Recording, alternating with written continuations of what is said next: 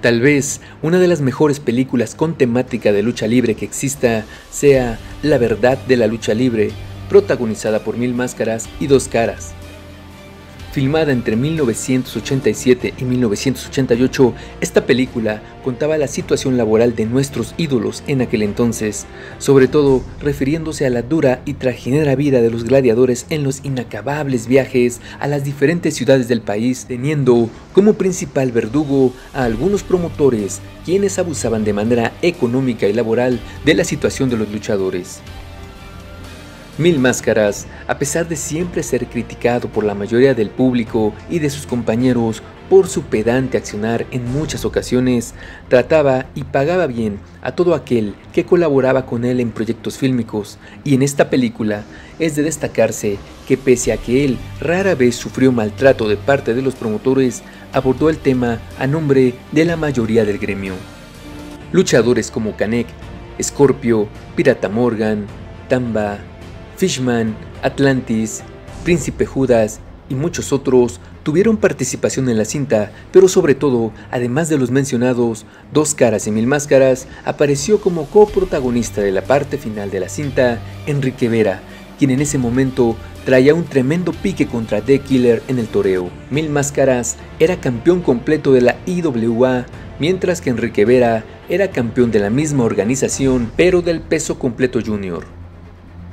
Para el domingo 7 de febrero de 1988, Enrique Vera y Mil Máscaras se enfrentarían en el turno estelar a Fishman y a The Killer, lucha en donde por las intervenciones del ballet de The Killer, Henry Williams, Mil Máscaras y Enrique Vera salen peleados, así que aprovechando que en el guion de la cinta Enrique Vera, con el papel de Guido, tenía que enfrentar a Mil Máscaras, el domingo 14 de febrero, el Día de la Amistad,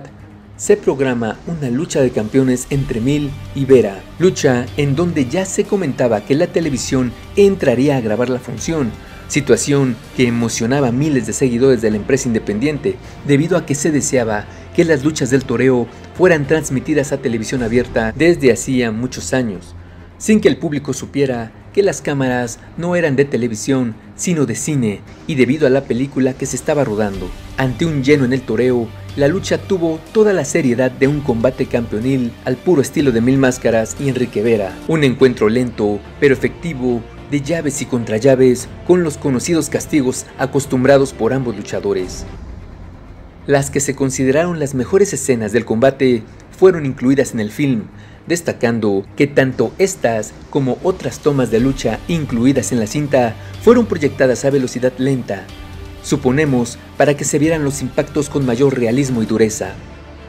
Aquel día, y como siempre sucedió con las exposiciones de Mil Máscaras a su campeonato mundial de la IWA, el internacional enmascarado salió con el brazo en alto y a todos los asistentes sorprendió ver que tras el combate el luchador bajara ringside y sentenciara a un aficionado, además de darle un aventón hacia su silla, así como el ver a dos caras en silla de ruedas presenciando el combate.